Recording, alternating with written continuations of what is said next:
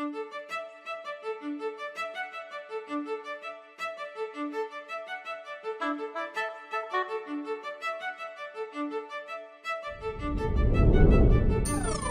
there, I'm Paxi, and I come from a faraway planet.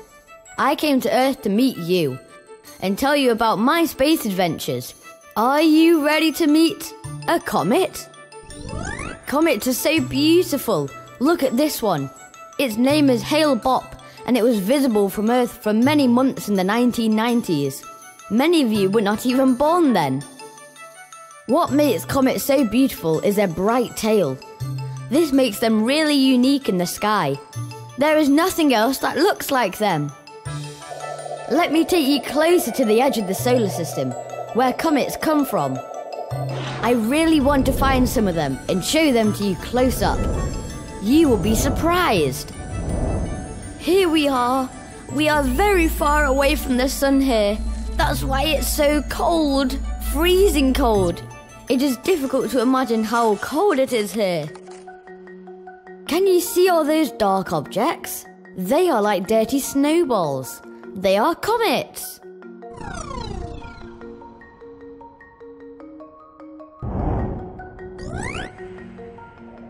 We're getting close to the sun, and it's getting a bit warmer here. Look, something is happening to the comet.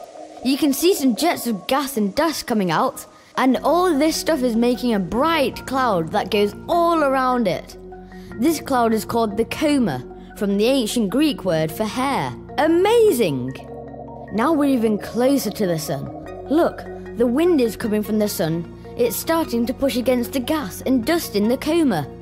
This is how comets' tails form. This is really, really exciting. Wow, it goes fast here. My counter says more than 100,000 kilometers per hour. That's about 30 times faster than the fastest airplane on Earth. Most comets we see in the solar system follow a path which has an oval shape. Some of them swing around the sun and go back to the edge of the solar system before heading in again for another loop. And again, and again.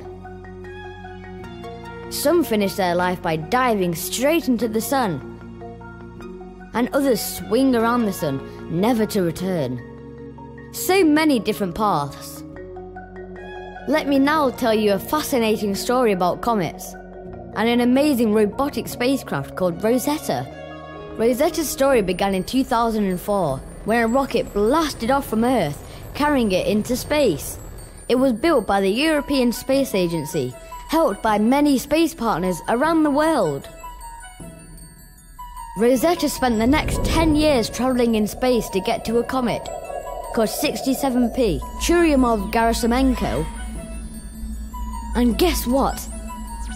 In 2014, it got there. Rosetta is able to fly near the comet as it gets closer to the sun. It can take pictures, measure the size of the comet, and do a lot of experiments. Rosetta is quite big. With its solar panels open, it is as high as a seven story building. And it is also carrying a robotic lander called Philae that is able to land on a comet. Philae is about the size of a washing machine. Landing on a comet is tricky. If Philae did not have harpoons and screws in its feet to anchor it to the surface, it could just bounce off the comet back into space. No spacecraft has ever flown alongside a comet and landed on it before. That's why Rosetta is so special. The Philae lander can drill into the surface of the comet, look and sniff around. Rosetta and Philae, working together, are trying to understand what comets are made of. All this information is stored in a computer on board Rosetta, and a powerful radio antenna sends it to scientists on Earth. Why is it so important to study comets? It's because a long time ago, when your planet was young, long before the dinosaurs and even life and plants appeared, many comets hit the Earth. A true bombardment, believe me. Now, my scientist friends on Earth believe that comets contain water and even the basic building blocks of life. This is the material, or molecules, that make up animals and plants.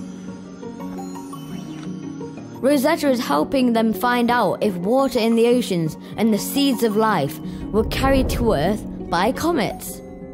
So we followed a comet and saw its tail form and grow as it got closer to the sun.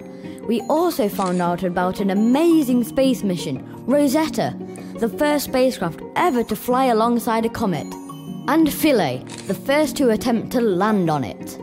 Soon we will be closer to knowing if comets brought water and helped start life on Earth. How exciting!